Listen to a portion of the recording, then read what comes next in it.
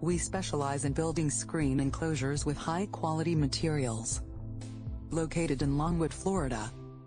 Over five years in the business. Our craftsmen will build you a screen enclosure that you will love.